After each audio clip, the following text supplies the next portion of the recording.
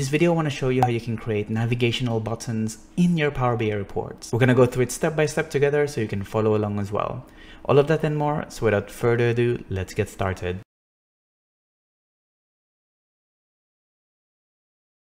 Hi, my name is Fernan and welcome to the Solutions Abroad YouTube channel where we cover tips, tricks, and best practices when working with Power BI. I upload new videos every week, so make sure you hit that subscribe button and the bell icon to get notified when a new one is out. When you start working with Power BI, you'll know that you can create multiple pages within a report using the page button at the bottom. So you can uh, click the plus button to create another page for you to add different visuals in. And at the moment, navigating between these different pages are the same for all reports and there's not a lot of way to customize this. And luckily Power BI is quite flexible that you can create your own navigational buttons from scratch. So first of all, let's create the four different pages that we'll use. So just add four more here and we'll hide everything else besides the first page. Now what this will do when you publish this into the service is that it will actually disable this bar over here, which gives you some more real estate for your reports. So the next thing that we'll need to do is to design our menu. And at the moment we can't do it in Power BI, but we'll actually do it in PowerPoint instead. So I have it here and we'll create a blank presentation right here. And this is where we'll design our menu. So you're probably wondering at this point why are we moving to PowerPoint to create this navigational menu? So we'll use PowerPoint because it's the easiest way for you to do this. It gives you a lot of options in terms of customizing your layouts the fonts or even add images without adding necessary strain to your Power BI reports you just import this as a page background and you're pretty much good to go I covered this topic specifically in a different video, so if you're interested about the backgrounds, go check that one out. So we'll come back to the PowerPoint slides here, and what we'll need to do is we'll need to create a different view for each of the pages that we have in Power BI. So we'll start with one and then we'll customize the rest. So let's start by just adding some background colors. So I'm gonna just make it slightly gray here.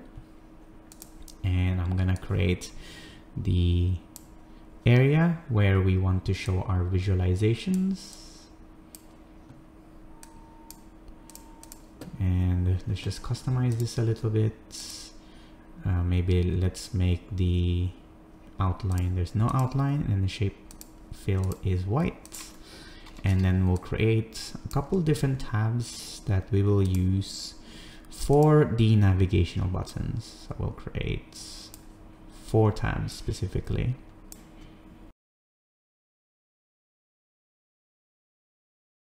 and we'll fill these with the same color as the background over there move this to the front and now you have a very simple menu right and you can customize this even further to show the branding of uh, the report that you're building but for now we'll stick with this and we'll start building the first page and to give the illusion that we have selected the first page we'll go to this one and we'll make it the same color as this one. So you'll see it's like a like the first tab here.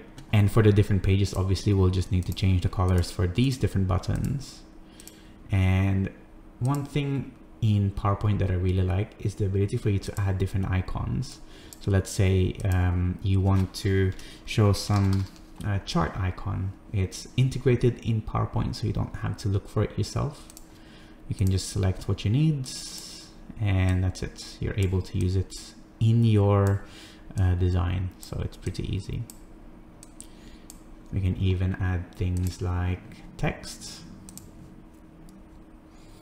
to customize this even further. So let's say we want to do daily trends. I will just name it trends for now. It doesn't matter. But you get the idea. So the idea is you're able to customize it as you need uh, how as how you need it. And it gives the illusion that you have a navigational buttons in your Power BI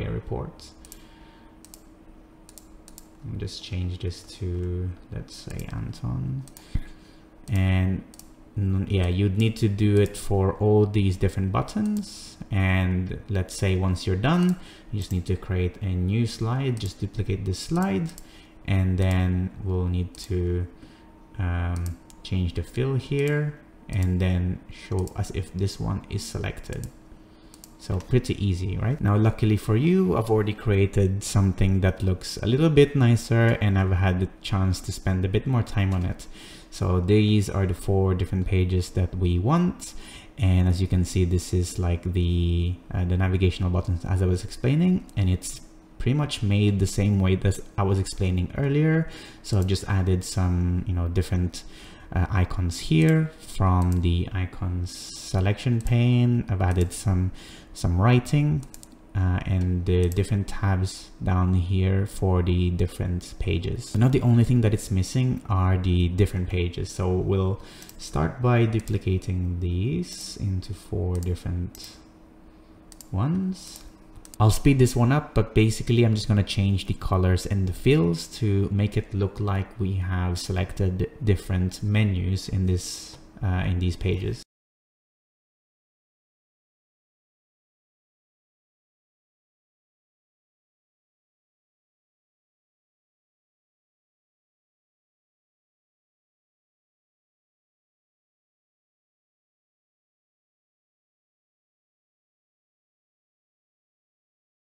So now that's done, we've created the different pages now. So as you can see, if I go to these uh, four different pages, you have the illusion of having a sort of menu style icons.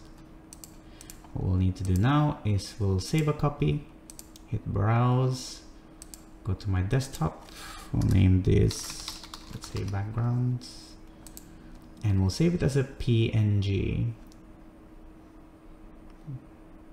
PNG. Yep. So we want to export all of them. So we'll click all slides. And what it's done is it will create a folder which just has the exports of all of the different pages that we've created. So one, two, three, four. And from here, it's just a simple matter of adding it in your report as pages. So uh, what we'll need to do for each of the pages, we'll create a page background add image, slide one, and transparency to zero. We'll do the same for the rest of the pages as well.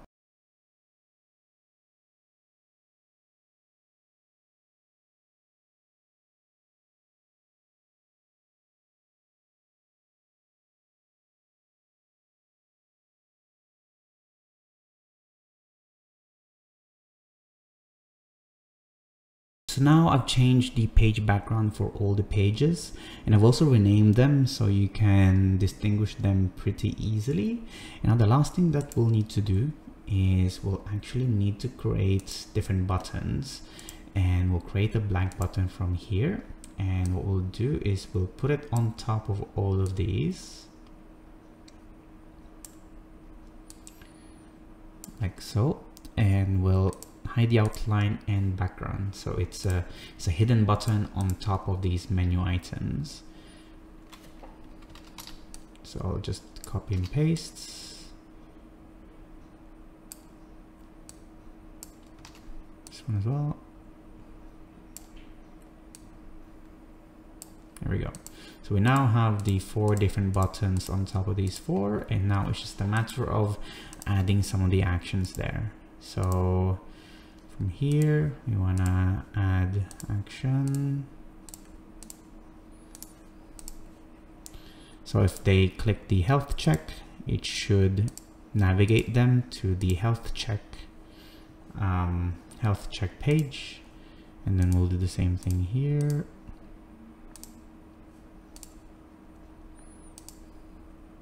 Page navigation so now if we click on that health check, you'll see that it takes you to the page and now you have a working menu button in your Power BI report. And that's really it for this video. I hope it helped you understand how easy it is to create navigational menu buttons in your Power BI reports. Thanks again for watching. Give this video a like if you found it useful. Give it a dislike if you didn't so I know to do better for next time.